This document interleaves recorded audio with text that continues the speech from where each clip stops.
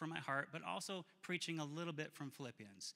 So if you've come here today to hear a message from me and it's been a while since you've heard me, you're like, Todd, why don't you preach here anymore? What's going on? Do you even work here anymore? Todd, thanks for coming to work this morning, but I haven't seen you from the pulpit. We got a couple more weeks of me just kind of talking to you. I want to I want to gear you up for some things that are happening this fall and into the new year. And I'm excited to use the pulpit for this. Sometimes we need to do that to share a collective message so we can all get behind it. But we're going to be jumping in for the next two weeks a message entitled Together. So, this Tuesday, if you can believe it or not, marks one year that I've been at Woodinville Alliance. Can you believe that? One year. Ange and I were talking about it uh, all week long, saying, Isn't that amazing what's, what's been happening and what's been going on over the last year? And sometimes I pinch myself because a year seems like it happened so fast. It also seems like it took so long to get here to this year. And if you recall, if you've been here and paying attention, hopefully you have, uh, last November, one of the first series that I spoke was called Together. And it was a really cool message, not because I wrote it, but because it came from the book of Acts. And the together that we talked about was what I believe is a perfect example of a New Testament church that's just getting birthed. A New Testament church that is just finding their fire from the Lord, figuring out who they are, figuring out the community that they find themselves in, and trying really desperately to stay true to the Word of God and the Spirit of God and moving forward together. And if you've studied the book of Acts, specifically chapter 2 and on, you see how God blessed the church. Bless the church with leadership, and bless the church with new converts, and bless the church with baptisms, and bless the church to people being sent out to do missions. It was such a beautiful time to experience the fullness of God. And we have a great example of that, and we dug into that. And if you it's been a while and you've forgotten what that looks like, you can refer back to those series a year ago. But here we are a year later, and I want to talk to you specifically this morning about the church in Philippi. The letter from Paul to the church of the Philippians is a fantastic book to a church that's been established for about 11 years. Here's what's n- unique about this church. And if you're new to this church, and this is the first time you've been here this morning, or maybe the first time you've heard me, uh, I'm going to be talking very candidly over the next two weeks because I think we need to as a church. I think if we trace back to the roots of this church, I'm lead pastor number seven or eight. I don't know if you knew that, but in the 45 year history of this church, I believe I'm the seventh or eighth lead pastor. It's amazing, isn't it? It's amazing how many lead pastors have come and gone. And the beautiful thing about that is when a lead pastor comes on, oftentimes they bring a vision that stirs up the church, that stirs up the direction of the church and where we're going and what we're doing. They bring their gifts and their resources, their talents, their treasures, their years of seeking the Lord into a house, and they say, Here I am, I'm bringing this vision forth. But there's also something unique that happens when a leadership change happens at the lead pastor level. It's almost like the church has to find themselves again a little bit. So, if my calculations are right, seven or eight times this church has tried to refine themselves. And if you've been here for any amount of time, some of you in this room have been here since day one. You've watched that process churn in and churn out. And it's uncomfortable, and it gets difficult, and then it gets exciting, and then it gets sad, and it gets frustrating, and then it gets confusing. Can I talk about all those emotions this morning? Is that okay if we get that honest? Because as I've prayed for us over the last year, I've come into contact with all those things as I've prayed for you as we've had conversations, as we've walked through this last year, I see all those things in your faces and in your lives. And there's a common chord of faithfulness in this church that absolutely blows my mind. The ability of people in this church to remain when things were confusing and shadowy. That's the hardest time to stay within a church. And I felt like when I came along in this last year, there are some things that we faced together. We faced leadership change and staff change. I watched people uh, leave the church, I watch people come into the church. I've had conversations with those that are in their teenage years saying, Todd, I'm just trying to figure out how to take my new faith and run after God. And I've talked to people well into their 80s that have said to me, Todd, there's only one question that you need to help me answer. When I stand before the Lord, and I know that these are the sunset years of my life, Todd, when I stand before the Lord, how am I going to receive from Him the statement, Well done, good and faithful servant? So, in both of my hands are the young and the old, and trying to help each and every person find the fullness that God has for them in the context of a church. And you all are amazing. You're amazing people. But many in this room, and I say this with love as your pastor, have such a strong opinion about where we're going and what we should do. And I welcome all those opinions. I welcome those things. You know, one of the things that makes us strong as Christians is we don't just put our questions on a shelf, that we don't just forget about the things that we're walking through together. We talk about them, and we talk about them in healthy ways so we can get further along the road together, so we can heal, so we can get free, so we can get closer together to what God has for us. And that's what He's been doing over and over and over again in this church. Several of the things that I talked about when I first started candidating for this job, way back into the search team when they were meeting with me, is some of the things that I was going to bring to this church. And I was never secretive about it. I was forthright. In fact, it took us nine months to walk through some of these things because we wanted to make sure that we are aligned as a church and a leadership in the direction that we are going in. And so I shared with them my absolute DNA as a human being, what I do is I make room for people to grow into leadership. And you may have recognized that this summer, the summer in the Psalms, there was so much room given to our staff. And many of you came to me and, they, and you said very jokingly, Do you work here anymore? It's so great that you joined us here today on Sunday morning. And I want you to know that part of, part of what I do as a leader is I try to break down some of those stereotypes. So even though I have a vision and a heart for this church, one of those big pieces of my heart is to make sure that you know who your staff is. See, when someone works in children or with youth or young adults or leads us in worship, we get certain ideas about who they are and what they might believe and where they stand and where their heart is. Some of the best ways to learn who they are is to give them space to share a message. So, Summer in the Psalms, and I've heard so many positive things about this, was just that. It was for me to share with you the staff that you've loved on for so long. And didn't they all do an amazing job? They did. I was so blessed to be part of those services and just get ministered to by all the staff here. And I view our staff as fully grown adults. Isn't that amazing? I hope you do as well. They're not kids to me, they're fully grown adults.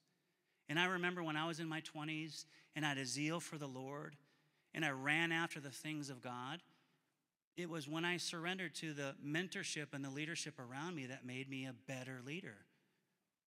And the coolest thing about my job is every week I get to sit with each of our staff and hear about their life, hear about their journey in Christ, hear about where they're going. And there's an incredible trust growing between us as a team. One of the first things I knew I needed to do over this year was to pull together our leadership team, the GC, our governing council, and our staff. I, have I've worked so hard with them to pull them together as a team.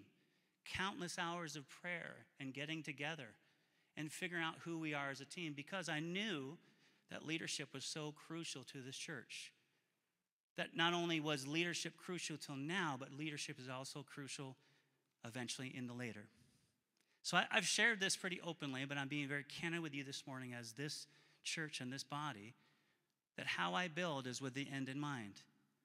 So everything that I build here is so someday realizing that God willing, I will be here for a very long time, but there will be a time when I have to hand off this church to the person that God calls after me. And my heart is everything that we build here, everything that we do here remains. That it doesn't get burned up. It doesn't cause someone to take three or five years of their ministry call to fix things that are kinked and broken.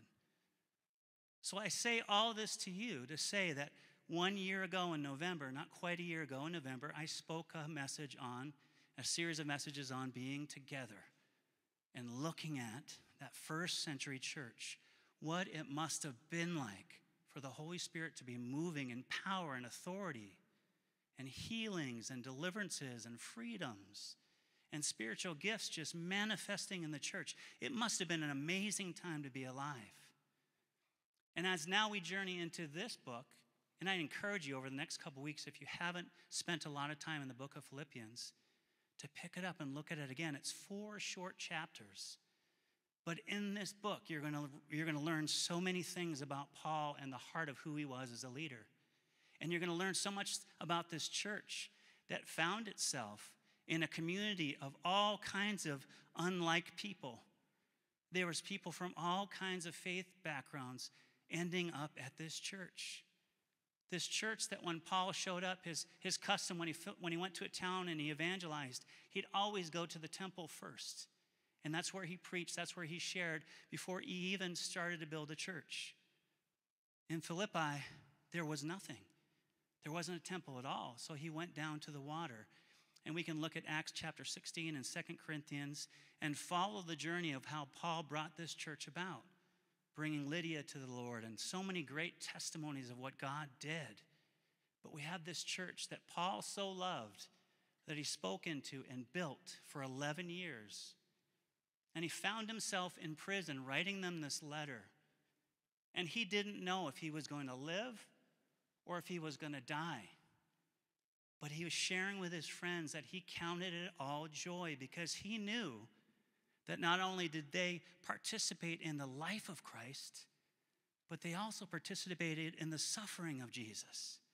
They understood what all these things were the dynamics and perplexities of being a human being serving Jesus.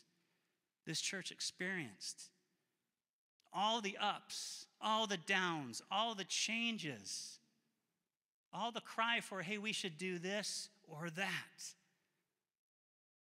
They experienced it all together. In the last three verses of Philippians chapter 1 sums up what Paul was trying to say to this church. And it's what I want to look at with you over the next couple weeks. And I want to dig into this scripture, this one verse, because I think in it will help project us forward to who we are as a church. So let's look at that one particular verse on Philippians chapter 1, verses 27. I'm going to read it out of the ESV this morning. Let your manner of life be worthy of the gospel of Christ. So whether I come and see you or I'm absent from you, I may hear of you that you are standing firm in one spirit, with one mind, striving side by side for the faith of the gospel. Let me present it to you this way as a, as a bullet pointed list. Maybe it'll help you see the power of this verse from the Apostle Paul that we can glean so much from today. The first bullet point standing firm in one spirit with one mind, striving side by side for the faith of the gospel. I'm going to keep that bullet point list in front of you as I kind of talk a bit more from my heart. It's very difficult as a church to stand firm if we're divided, if we don't know where we're going, if we don't know what we believe in. And you may recall that after the first uh, John series that we did, Alex and I jumped into the fourfold gospel, explaining from our hearts how much we're going and reviving and revisiting the roots of the Christian Missionary Alliance denomination. Let me tell you one of the things that I was really attracted to about this church when I first heard that you were looking for a lead pastor. I cut my teeth many, many years ago in the Assemblies of God. It was the first denomination that I was ordained with. Assemblies of God is a, a cousin, so to speak, of CMA, some distances, but the roots go back to A.B. Simpson. And one of the things that I found and I'm finding in Christian Missionary Alliance, the strength of the checks and balances that I need as a leader. I told you from the day one that I'm not Superman. I'm never going to stand in front of you as a cape. I don't want to do this all on my own. I don't want to build my own kingdom. I want God to release in us a vision that we can all grab a hold of, that we can all believe in, that we can all uh, step out in and stand in. And what I've found to be true so far in the Christian Missionary Alliance is how much support I get from our district and our national offices. I'm very connected to both. We just went to the national conference in Spokane and we're deeply challenged by it. And one of the things that I want to point out to each and every one of you is that is a big part and core of who we will always be. And that statement of faith at the core is who we are as a church. So if you don't know those 11 tenets of faith, you can access them on our website. They're easily to find on the web. You can find a book on one of our bookshelves that point out all those 11 tenets of faith that make this denomination unique.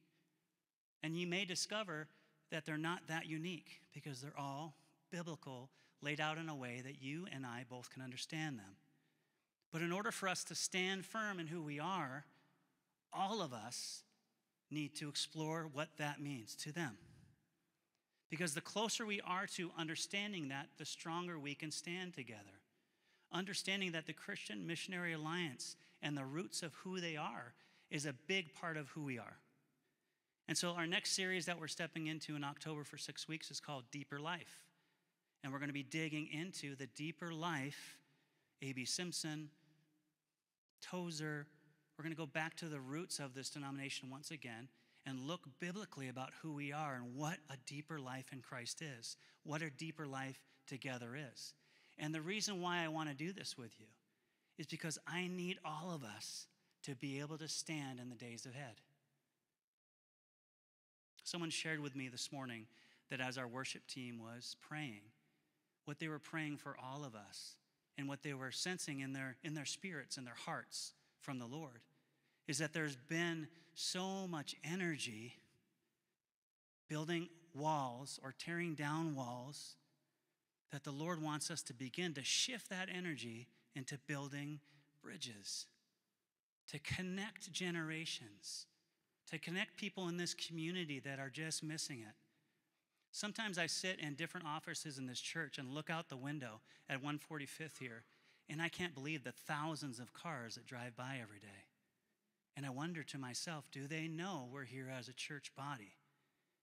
Do we make an impact in this community? So I have a little action item for anyone that wants to take this. Find yourself driving around Woodinville today and stopping at gas stations or restaurants and ask them if they know where Woodinville Alliance is. And I'll, I'll let you discover what I've discovered by doing that. I want that heart to change in Woodinville. I want Woodinville to know we're here, not because I want them to just come here as a, as a congregant, that'd be fantastic, but I want them to know that there's a church in their community that's standing firm in this day and age. Each and every one of us, God is calling us up to stand firm in what we believe and who we are. And in turn, this leads to the next bullet point being of one spirit. Now, I know it's not this church and it's probably not this service, but it's very easy when you go to a church for a long amount of time to begin to just murmur and complain about all the things that aren't going well. Once again, I don't think it's this service, this group of people. I'm just throwing it out here for you to maybe receive something from me about this. We need to be of one spirit. How are we of one spirit? We stand firm in what we know, what we believe, the direction we're going in, and we begin to change our language one to the other. We begin to speak well of each other and well of what God is doing here. I believe with all my heart that the local church is the hope of this world. I believe that God instituted the local church. It's what I've poured my life out to. It's what my wife Angela has poured her life out to. We believe with all our heart that a local church is called to make a difference in this world. That the Lord Himself looks at us as His bride. That one day He'll come back for, spotless and pure. Are we there yet? No, we're not there yet. How do we get there? We need to be of one spirit. And I challenge each of you, I, I do with all my heart as your pastor. We need to step into a season where we remain standing firm and in one spirit. And the third bullet point is one mind. We need to be one mind. And that doesn't mean that we all just walk around blindly and do things that we shouldn't do because someone else told us to do it. To be in one mind, understanding who we are in Christ, what God's done in us, what God is doing in us, what God wants to do in us, and being one mind about that. One of the things I love about leadership development is seeing the differences in all of us and how together we really do function as the body of Christ. Some are arms, some are legs, some are ears. I've met a couple armpits. They're still great to have around. They're needed. We're all needed. And when that body functions well together, it's amazing what God can do through us and in us. And with those three things in place, standing firm in one spirit with one mind, we begin to step into the areas that are I'm just dreaming about right now. That we begin to strive together side by side for the faith of the gospel. To begin to do things that this community, locally, nationally, and internationally, we can do together when we stop building the walls between us and start building bridges to further the gospel forward. And I dream about it all the time. I pray about it all the time. It's a huge part of what I journal and I think about. But I also know that this is a big deal, what we're trying to do together. Many, many years ago, when I was meeting with my pastor who was mentoring me, there's a, there's a certain fork that a pastor takes in his life when he knows one day the Lord is going to call him to lead a church. And the fork that I took, the two that you can choose from, is either planting a church or coming alongside a church that's been established to help them go where God's called them to go. The consistency I hope that you see in me is that I was made to walk alongside a church that's already been established to help them go forward where God wants them to go. People call me nuts and out of my mind because it's a hundred times harder. Why is it a hundred times harder? Because just like I shared before, there's been seven or eight transitions in your midst. And to build that trust to each other is what Paul was talking to us about in the book of Philippians. He called them to unity and joy because of what they've lived together through. In the book of Acts, they were called to unity because of what Christ did, and now they're following him. The book of Philippians is called to unity because of what they've gone through together and that they remained and they were still together doing it. So, my challenge to us today is to look at this scripture. And I believe the Lord placed it in my spirit to share with you over the next two weeks to get in a little more deeper into the direction I feel and the, the leadership and I have been praying into and where we feel the Lord is leading us. And as we share those things and as they develop more and more, I need you to know my philosophy of ministry is this I'm not going to come to you with a vision that I made up and say, these are the three ways that you can get involved. The vision that the Lord is stirring up in this house is at its core it already exists here, it's already at the DNA of this church. And my job as your pastor, as your shepherd, is to help draw that vision out for all of you to get involved in it. Because I know one thing about leadership development people get engaged where they feel they're helping develop something. And we're at that stage right now as a church. There's so much beauty here and so much history. There's so much in the past and the present and what's ahead in our future. But we need to learn to stand firm together, to be of one spirit, with that one mind that only Christ can give us, until we learn to start striving side by side in our differences, in the things that make us peculiar. In that 16 year old and that 82 year old man that I talked to, working together side by side for the faith of the gospel, moving the kingdom of God forward. And what I'm asking you to consider, to prayerfully consider over the next two weeks, is your role that you'll play in that. And I've worked with all kinds of people through the years It doesn't matter how old you are or how young you are. I believe that God has called a family together in a church to do things for his kingdom. And for all of us to discover that together so we can strive side by side. As you look into the book of Philippians, chapter 1, you'll begin to see how Paul encouraged them in their story. How much each of us matter to the kingdom of God, the story we carry into the kingdom of God. Who we are, how we choose to live, actually becomes an encouragement to someone like Paul who finds himself in jail, but still hears about what the church is doing and the faith walk of the community. And that's exactly what this church did to Paul. Who they were encouraged him, and they were behind him. And it caused him to be free to say, Lord, I'm okay if I'm taken home because I'm martyred, but it might be better if I remain because there's so much work to do in the local church. If you're here today and that's the conversation you're having with God, I want you to remain in his house so we can be who God's called us to be together. I want to share one thing with you uh, before I have the worship team come back up and close. Once again, this is part one and part two. I'm really calling us up to look at this scripture and to step in it together.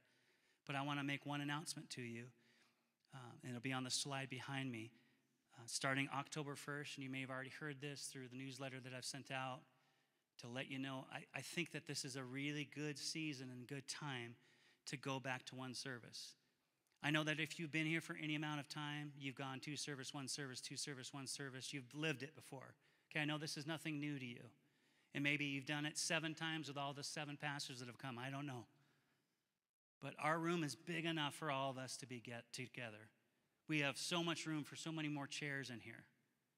And for a season, I feel the Lord calling us together to be one church with one message so we can get that one vision together. The mission is simple. The mission's never changed since Jesus called his church to go make disciples of all nations. That's the mission of the church. You don't need another mission. We know what our mission is, and you know, to some extent, we're doing it really well as a church. But the vision, the way we're going to do it together, I've already been pretty candid this morning, so I'll, I'll be just a little more candid today.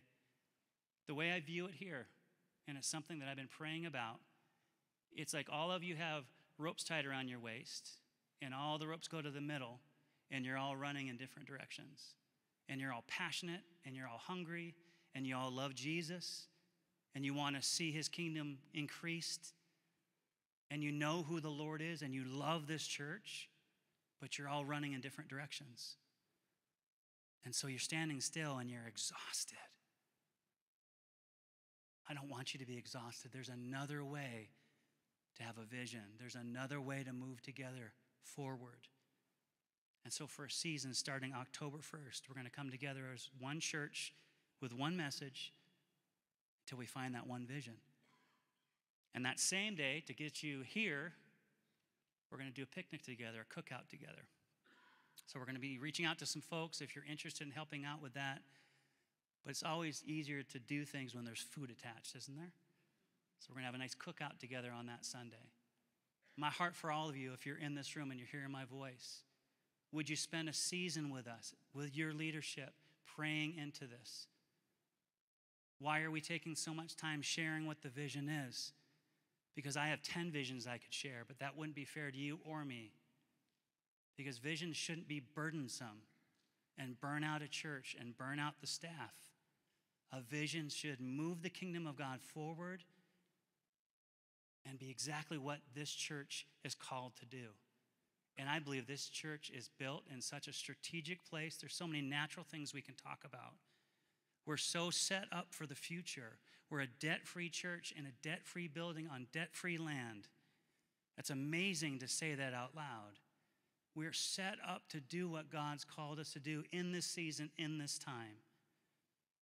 And I'm calling all of you up to pray with me, to get alone with the Lord, to read this particular book with me specific, specifically chapter one, and let's discover what our vision is together and to stand firm. Put that bullet point back up, please. Stand firm in one spirit with one mind, striving side by side for the faith of the gospel. I want to see Jesus change this world. I want to see his spirit change each and every one of us to the point that it's irresistible. This is the time that we live in now. The world needs Jesus. And I'm asking all of you to step up with me and to discover together what the vision is for this church, what the unique call of God is on this church. And I know this next year is going to be amazing. Worship team, would you come back up while I pray?